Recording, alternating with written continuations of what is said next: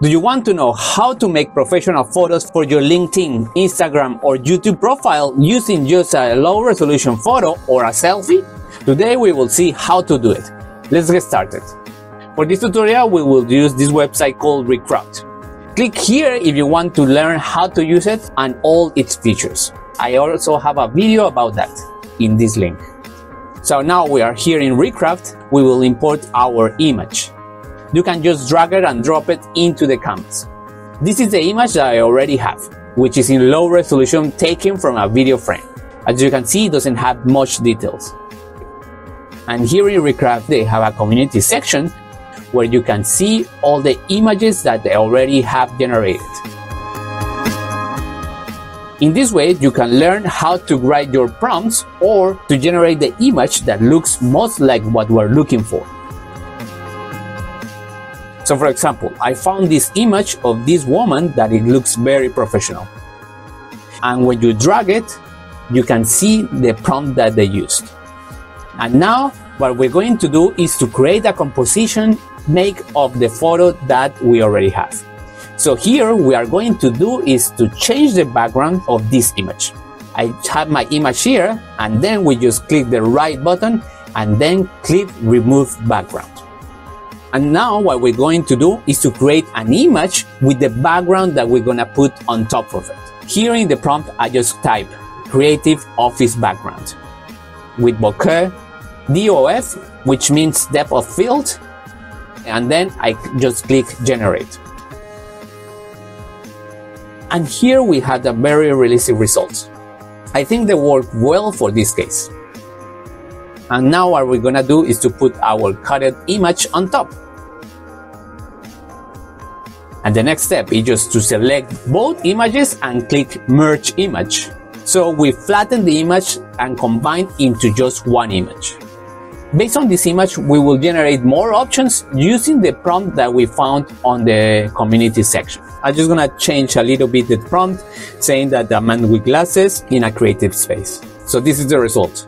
As you can see, these are much closer than we're looking for. Even the glasses, it made the same glasses as the original picture.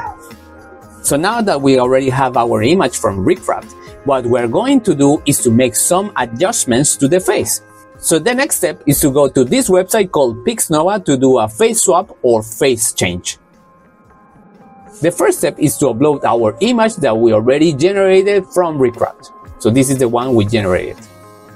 And the second step is to upload an image of our face.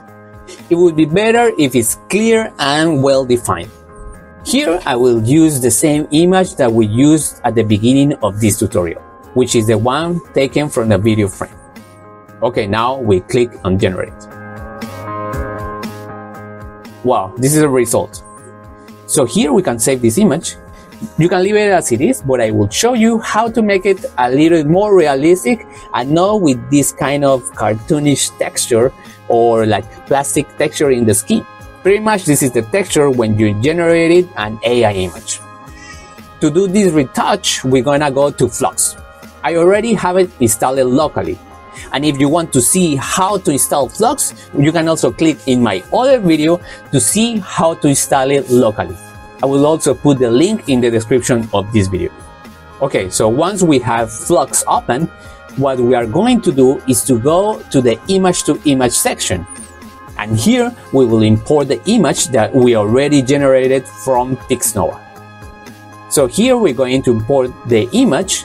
You can also simply drag and drop it in this area. And then we are going to use the same prompt as we used before. A man in a suit in an office environment and then we, we will regenerate it. Okay, here we have the result. It still looks a little bit plasticky. Let's try changing the style here. We will put this photorealistic photo portrait. I think with this style we'll improve better. And here we will leave the denoising strength where it is, which is 0.2, more or less. So it doesn't generate something very different what we want to do is just to change the texture of the skin. And then we click on generate it. Okay, so now we have our result. and we are getting closer to what we want. Here, I can already upload this new image and generate another face change in this PixNova website. The good thing about PixNova is that it's free and you can make as many generations as you want. The only thing is that every day they remove the generations you create. So that is something you should keep in mind. But at the moment that I'm making this video, you can generate as many times as you want without any cost. Okay, and that's it for this video. If you like it, please thumbs up, subscribe to my channel, and hit the bell to get notifications on my new videos. And remember this, the AI of today is just the beginning. The best is yet to come. See you next time. Bye bye.